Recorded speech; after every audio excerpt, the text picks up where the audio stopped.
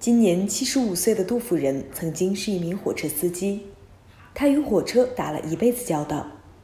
退休后，他用画笔画高铁，创作了一幅幅高铁与太行山水相融的美丽画卷。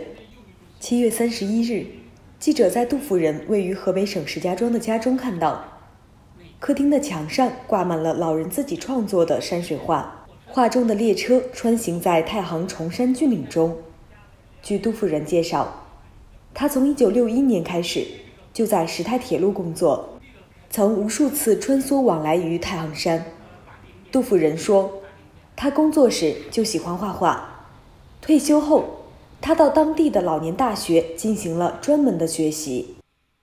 因为在太行山里这个感情很深，画画来激起了我这个心情，我都想办法把我所感受到的。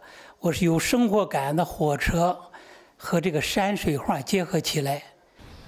杜甫人的第一幅太行山高铁山水画创作于十年前，那是太行山区第一次通行高铁。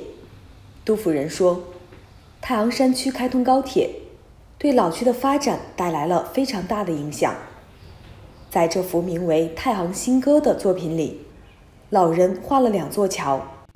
一座是山区老旧的石桥，一座是高铁正飞驰而过的高架桥，两座桥遥相呼应。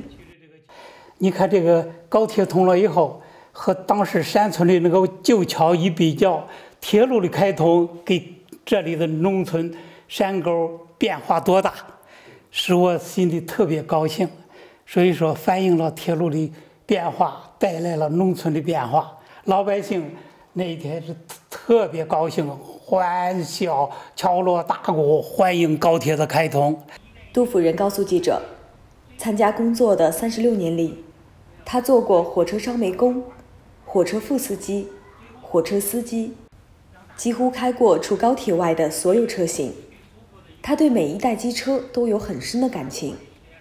杜甫人说：“现在的列车越来越先进。”未来再出现什么先进的列车，他都要画进去。他希望用画让人们记住中国铁路的发展历程。火车每一代的变迁、变化、淘汰，都对我来说就是很舍不得。我总想有一个小小的愿望，把所有的画，尤其是铁路的山水画，搞一个展览。把自己的作品让大家看，分享这个时刻。